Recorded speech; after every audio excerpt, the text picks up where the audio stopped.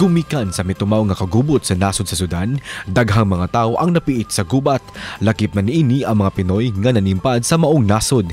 Ning bag-o lang adunay upat ka mga gipang repatriate nga Boholano overseas Filipino workers nga luwas nga nakauli silang tagsa-tagsa ka mga lugar sa Bohol. Gidunulan usab sila og hinabang pinansyal, isip tabang gikan sa gobyerno o gisaaran nga hatagan og mga trabaho. Karong buntaga, sayran tang mga dugang lakang nga gihimo sa OWA 7.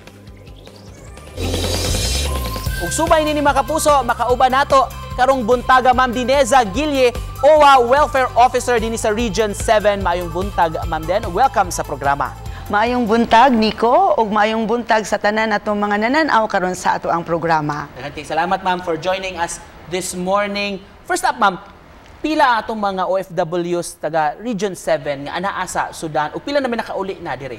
Uh, estimated karon nato gyud uh, wa- we're expecting 13 ka mga 13. FWs nga mga uli Aha. ang uh, gikan sa Sudan. But pagkakaroon Sir Nix, aduna na tay upat ka mga FWs nga nauli. Diin usa niini taga Cebu, taga Mandawi, ug ang tulo taga Bohol. Okay, nakauli na sila. Nakauli na sila. Kumusta na sitwasyon sa Sudan ma'am nganong nganong gipa-repatriate man atong mga OFWs? tungod lagi sa gera nga Aha. nahitabo didto na affected ang atong mga OFW. So kinahanglan nato ipapauli balik sa Pilipinas. Mm. Mao nga ang ato ang OWA administrator sa admin kakdak ng ah, admin ah, Ignacio, no?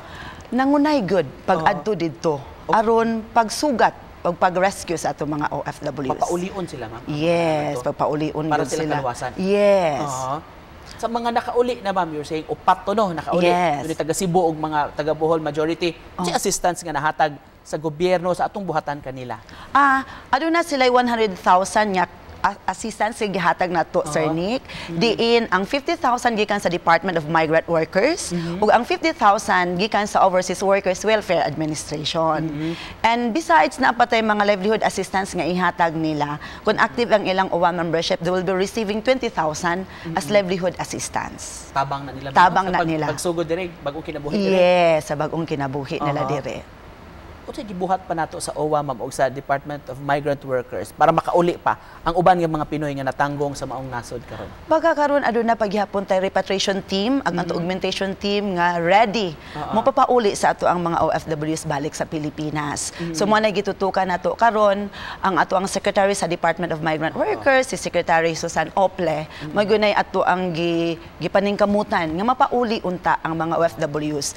Ang ato sa mga regional director diri sa OWA 7 si RD Martel Dasayon, gipahugtan gyud ang pagmonitor sa pagpauli nining maong mga OFWs. So siguro ang uban man magpanagana mo ingon nga di sa sila gusto mo uli sa Pilipinas. Kay basig walay nagpaabot nga trabaho nili dire kumusta ka ilang pamilya unsay may tabo unsa may assurance gikan sa gobyerno ang may tungod ana ma'am. Yes, ang atong gihi ang gihimo karon sa atong Department of Migrant Workers, nakig-link na sila or nakig-coordinate na sila sa atong mga employers, pos- possible employers sa United States of America, sa Kingdom of Saudi Arabia, and even sa mga cruise ship. aron pag hatag og oportunidad nila nga makatrabaho sila balik. So you were saying ma'am upat na to nakauli so pila na may atong gipaabot nga upauli in the coming days, coming weeks. So I think ang ato nang yung gikuan karon nga moabot na unta ang walo Okay. no or wa patakay ba kung doon na pag ready nga muuli diri sa ato ang Region 7 specifically diri sa Cebu, sa Bohol, Negros ug sa Siquijor. Ma'am Den sa mga pamilya diha nagtan-aw siguro nato nga buot pod magpakitabang or mo contact baka ninyo mahitungod sa sitwasyon sa ilang mga paryente dito sa of course war torn man ang Sudan karon asa man sila coordinate ma'am. Okay, sa mga pamilya nato diri sa Region 7 nga ganahan mo patabang no sa whereabouts sa pagpapauli sila mga OFW balik sa Pilipinas. Pwede mo mo contact namo diri sa regional office nato. Nakita na himutang sa Machay Building, no, sa Gordo Avenue. Or for those who are residing outside Cebu, pwede ta mo contact sa ato ang mga field offices sa Bohol, nga na na- namutang sa Bepo sa Tagabilaran City, sa Negros Oriental o sa Siquijor. aron mapadali nato ang inyuhang request o pagsusi kumusta ang kahimtang sa ato ang mga OFWs nga naa pa karon sa Sudan. Course, we're praying for their safety, ma'am, no? Yes, of Sa course. nasod, taliwa sa mga panghitabo dito.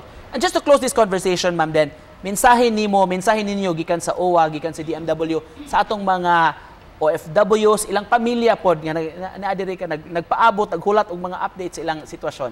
Okay, so in behalf of Secretary Oples sa DMW and Admin Arnel Ignacio, and of course our Regional Director RD Martel Dasayon, magpasalamat kami sa oportunidad mang among i-assure ang mga pamilyang diri sa regional office nato nga kami andam og tagana sa paghatag ug suporta ug pagpapauli nila nga unta ma-reunite sila silang family balik sa Pilipinas.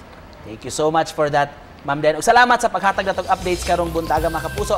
Ma'am Dineza Gilye sa OWA 7